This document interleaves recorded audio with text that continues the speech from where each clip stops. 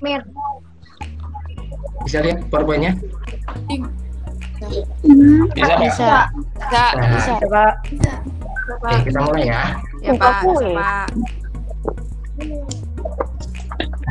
Sinar datang dari depan.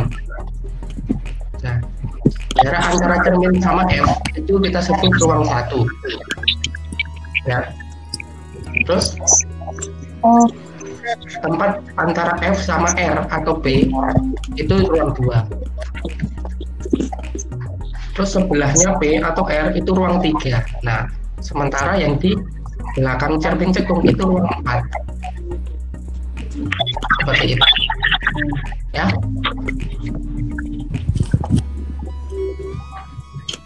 Ini nanti saja. Nah, sekarang kalian coba gambar ini. Nah, kalian coba gambar sebuah lilin ditempatkan di depan cermin gekung pada jarak 15 cm. Nah, berarti kalian gambar garis dulu 15 cm. Titik fokusnya jaraknya 5 Nih, Bapak contohin di pen ya. Pakai ini, nak. Ini saja ya. Ya. Nah, terus nanti dihapus sebelah. Dihapus sebelah pakai ini. Ya, tapi kalau yang di pen ini terbatas karena jadi nggak bisa kayak jangka ya. lengkungannya nggak bisa lengkungan yang betulan. Tapi kurang lebih sketsa. Hmm, sketsa saja. Terus F-nya seperti ini. 5 berarti P-nya 2 kali R 10. Nah, Ya, pelan-pelan ya. Karena ini cermin cekung, kita pakai sinar istimewa yang pertama apa? Sinar datang sejajar sumbu utama. Nah, karena ini sebagai lilinnya, ini datang sejajar sumbu utama. Terus apa? Melalui titik. Dipantulkan melalui titik fokus. fokus. Ini sudah pantulkan melalui titik fokus. Seperti ini. Hmm, gitu, Pak. Itu yang pertama.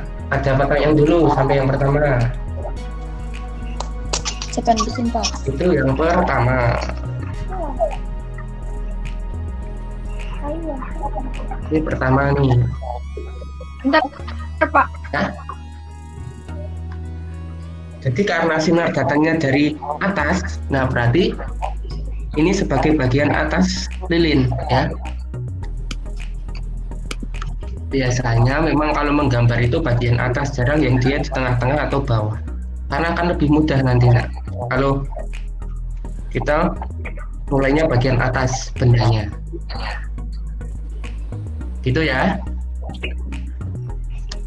Lanjut yang kedua apa sinar istimewa kedua sinar datang melalui titik fokus Dipantulkan sejajar sejajar sumbu utama. utama nah ini ya, pantulkan sejajar sumbu utama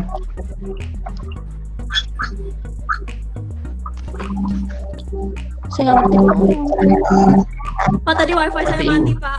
Jadi Ya. saya keluar. Terus kalian lihat ini ada perpotongannya nggak sinar pertama sama kedua nih Ada. Ada. ya nah itulah sebagai letak bayangannya Udah. itu sebagai letak bayangannya letak bayangannya karena ini bagian ujungnya atas berarti yang isi juga bagian atas jadi gambarnya jadi seperti ini mbak Ya. Iya. ini sebagai bendanya.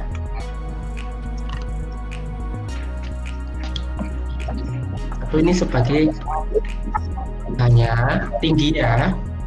Berarti terus ini sebagai H aksennya. Atau tinggi bayangannya. Kalau kalian perhatikan besarnya besar mana nak? Bendanya atau bayangannya?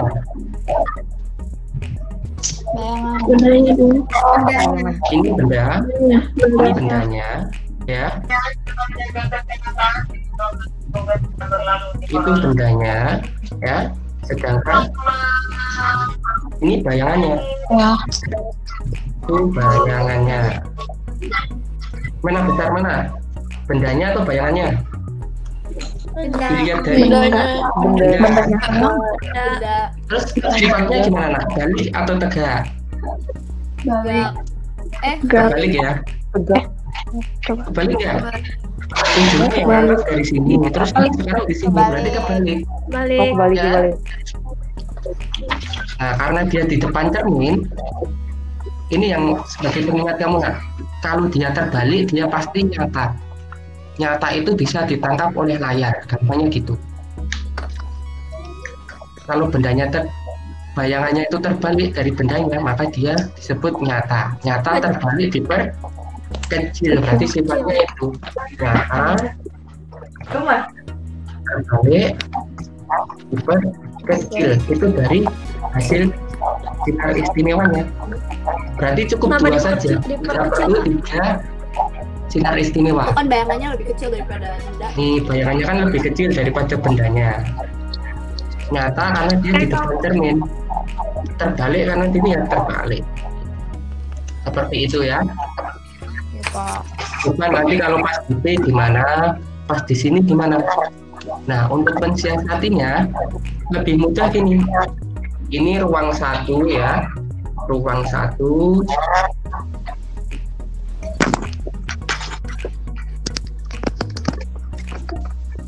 jadi antara cermin sama F itu ruang satu ya. Terus antara F sama P itu ruang dua terus setelahnya P itu ruang tiga. Ini ruang tiga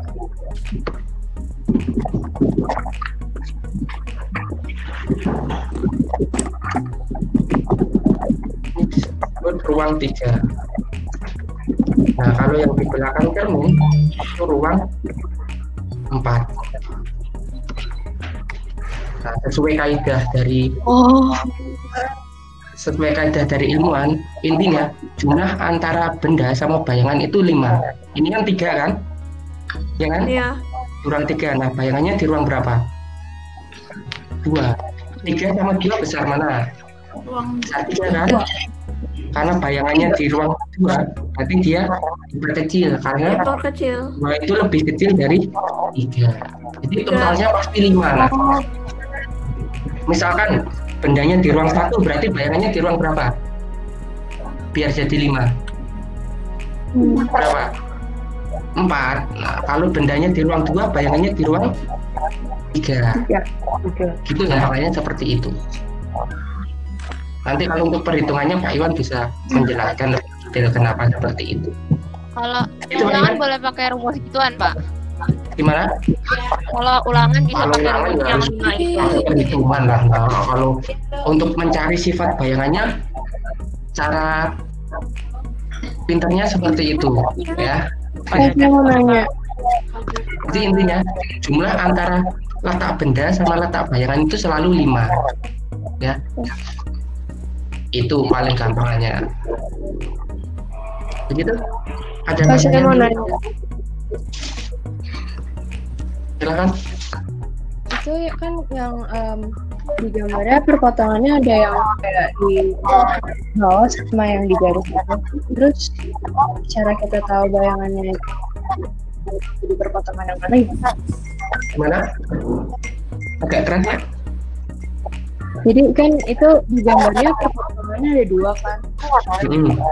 Itu kita tahu eh, bayangannya ada di perpotongan yang mana itu gimana? ya kita pakai sinar istimewanya intinya perpotongan antara dua sinar istimewa itu adalah bayangannya nih ini di sini berarti karena kita dimulai dari ujung atas ini juga di ujung atas tapi dia terbalik. Nah gitu ya. Berarti yang perpotongan yang di garis itu bukan bayangannya. kalau di sini bukan di sini bukan. Nah bayangannya di sini perpotongan sini. Karena bendanya ini. Ini kan sesuai dengan istimewanya di ini titik fokusnya. Karena harus melewati titik fokus. Kayak ini kan cerminnya. Nah perpotongannya di sini. Selain di sini kan nggak ada lagi. Nih. ini kalau mau lurus terus dia nggak berpotong ini kalau mau lurus terus nggak berpotong. Dia perpotongannya di sini. Ini adalah letak bayangannya. Gitu. Ada yang lain silakan. Makanya